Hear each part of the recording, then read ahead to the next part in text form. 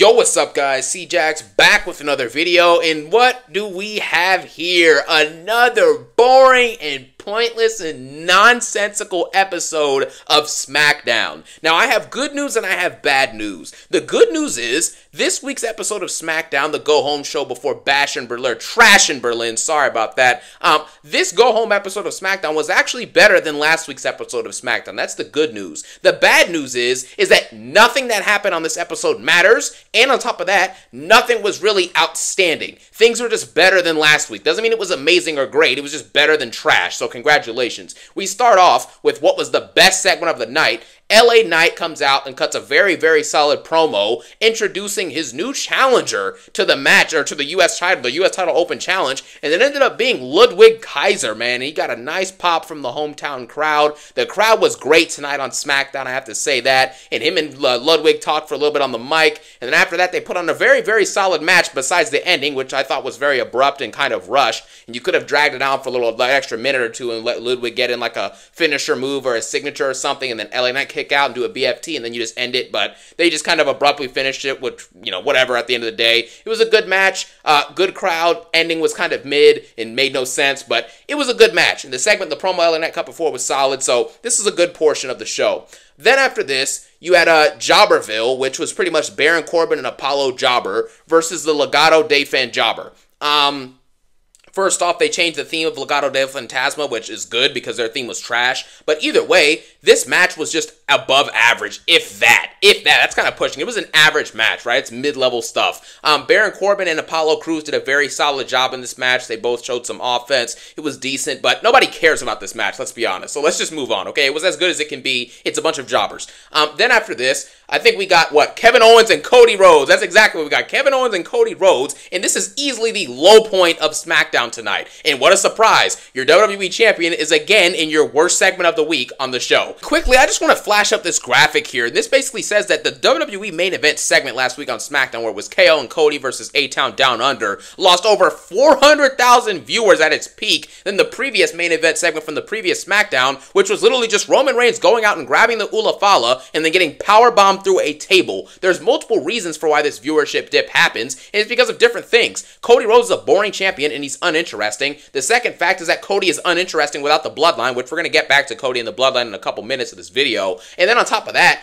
nobody cares about this Kevin Owens and Cody Rhodes feud. It's boring, it's not built up correctly, and nobody cares about this because we know Cody's going to come out on top within like 15 minutes of the match. So it, none of this matters. And I'm not surprised about this. Kevin Owens and Cody Rhodes come out here, and basically Cody Rhodes, you know, glazes Kevin Owens for the first five minutes of the promo, saying the usual stuff. Get ready for the imitations, y'all. I respect you. I like you. Thank you, Kevin Owens, for everything you've done. Uh, what do you want to talk about?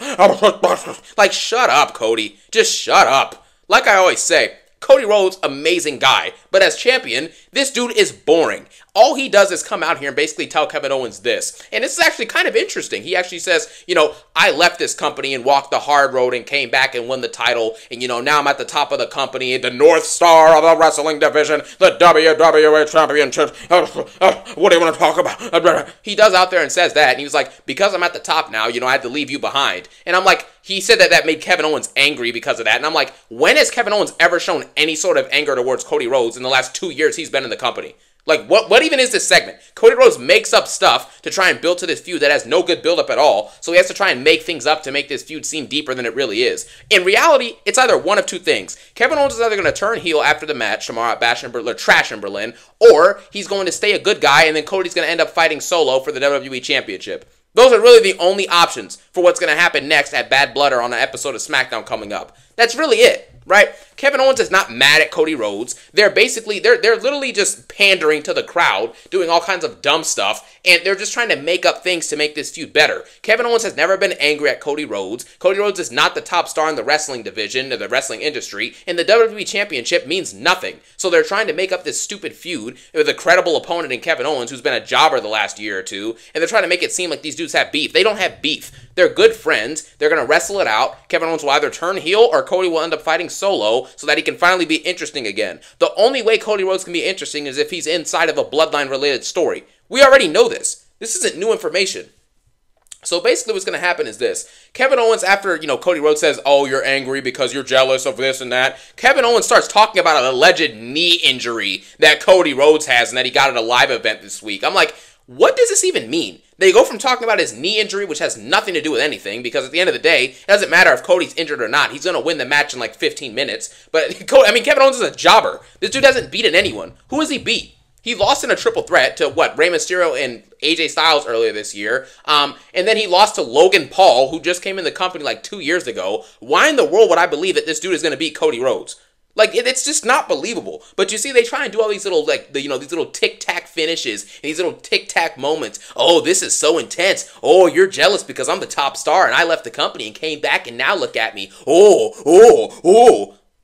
Grow up. It's stupid. So this promo and this whole entire segment meant nothing. The only thing good about it was the fact that Michael Cole literally said he was like, uh, what did he say? He said uh, he's glad to be on SmackDown with a competent GM like Nick Aldis, unlike Adam Pearce, and that's absolutely facts. Adam Pearce is a terrible GM and he needs to be fired. Um, anyways, what happened after this? I think we got Carmelo Hayes versus Andrade Part 4, which I honestly like this gimmick now where Carmelo Hayes basically is like a, he does it like kind of an NBA series, right? So every single person he feuds with is probably going to be like a, Mel, he's going to say Melo and 7. So it's going to go to like 7 matches and it's a best out of 7 for that. That's pretty cool. Now, at the end of the day, we have seen Melo and Andrade fight each other like what four times now? And it is kind of getting old but the match quality each time has been at least like a 7 out of 10 or better. So therefore Melo versus Andrade is passable. If you're going to give me a guaranteed match that's going to at least be above average or solid each week then obviously I'm going to be okay with that all right I'm not mad at it. It's just I'm kind of getting tired of it. We need to add in a stipulation like no holds barred or extreme rules or a tables match or something. We need to start adding weapons into this. We're four matches deep. They're probably going to do three or four more. Like we just need to go ahead and get to the point where these guys actually fight it out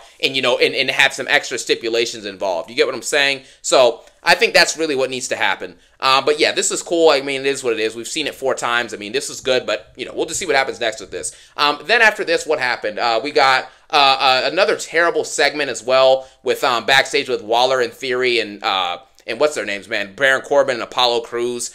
Nobody cares about this. You know, I don't even know why I brought that up in the first place. I'm actually sorry for wasting your time with that because no one cares. Uh, then after this, we got Nia Jax versus Michin in a street fight for the WWE Women's Championship. And this match was actually pretty decent. Um, there were some table spots in there. Nia Jax got powerbombed through a table. Um, Michin got no reaction when she went out to the crowd, but what else is new? And then... Oh yeah, Tiffany Stratton uh, was out there too. She fake cashed in her money in the bank. And then we got the return of Bayley after what, like three or four weeks or something like that. Bayley came back. Um, she was, you know, running down the ramp, which she ran a little bit weird, but anyways, doesn't really matter. Um, she came down to the ring and pretty much just started attacking Tiffany Stratton and helping out Michin. And then Michin ended up getting absolutely demolished on a trash can with when Nia Jax hit her with the Annihilator, and then that was pretty much the end of the match. It was decent. It had decent spots. Um, it was a little bit slow in other parts, but overall, this is expected. I mean, it's Michin versus Nia Jax. How good of a match are you expecting? This is about as good as this could have been, really. There's nothing else that really could have happened. But the problem with this match is the fact that Nia Jax is supposed to be this unstoppable, you know, big time threat. But then, just like the match at SummerSlam, she wouldn't have won necessarily without Tiffany Stratton. And I just think that really makes her look a lot weaker than what she really should be portrayed as, which is an absolute monster who should be beating a jobber like Michin in about four minutes max. You get what I'm saying? So, but other than that, that was pretty pretty much it for SmackDown. There was like four matches, and there was that one very boring and drawn out segment with Cody and KO.